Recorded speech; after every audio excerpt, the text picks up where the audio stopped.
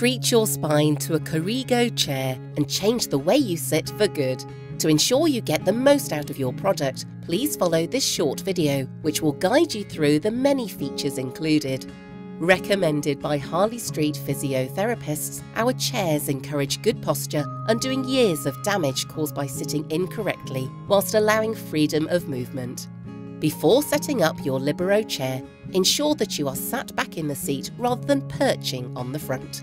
To begin, we will adjust the height of your seat. Use the lever under the chair to adjust the height. To lower, sit down and pull the lever up. To raise, stand up and pull the lever. Ensure that your hips are slightly above your knees and that both of your feet are flat on the floor. The next step is your seat depth. To adjust, push the lever under the right of the seat and slide the seat back and forth. Leave a two or three finger gap between your legs and the front of the seat. Now it's time to concentrate on your backrest. To adjust, simply slide the backrest upwards until it is supporting your lower back. If you need to lower the backrest, raise it to its highest setting to allow it to fall to its lowest point. Lift back up to place at your required height. At the correct height, the backrest will cradle your spine all the way up, encouraging an open chested, upright posture and discouraging a slouch. Broader back chairs tend to push you forward into a slouch.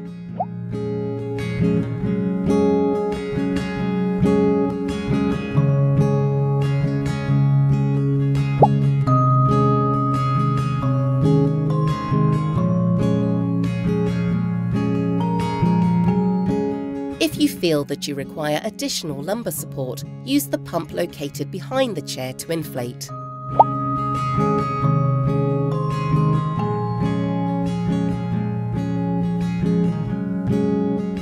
To deflate, press the valve on the pump. Be sure not to overinflate the lumbar support.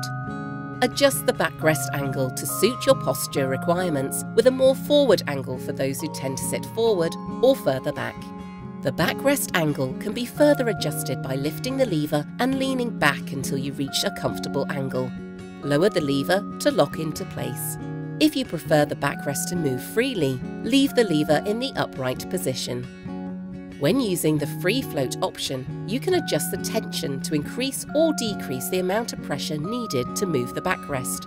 Pull the lever out and turn clockwise to increase the tension or anti-clockwise to decrease.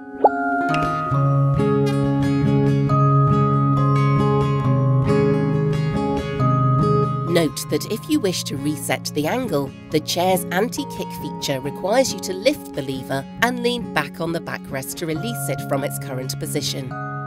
At this point, you may also change the angle of your seat if you wish.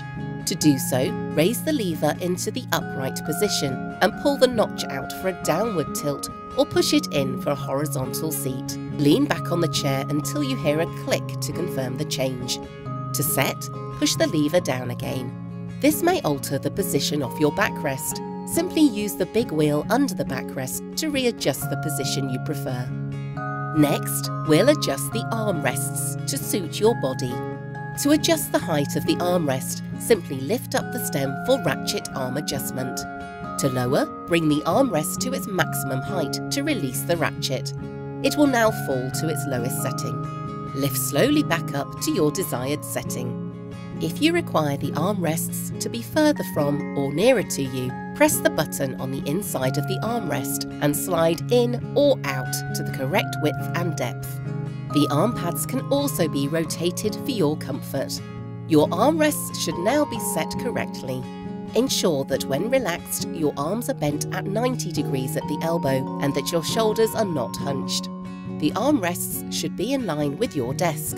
You may need to quickly alter the height of your chair in order to achieve this.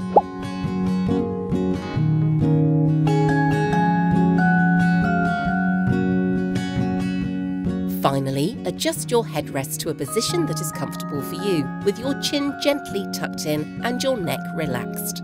Each of our chairs include a card to record your settings on. If you share your chair, you can easily revert back to your preferred settings. Bring your chair close into your desk. Your arms should be level with your keyboard and your eyes should be level with the top of your monitor. Your feet should be flat on the floor. You may need to adjust the height of your desk if you are able to do so, or alternatively, use products such as a footstool or screen raiser. Congratulations, your chair is now set up and your back is grateful.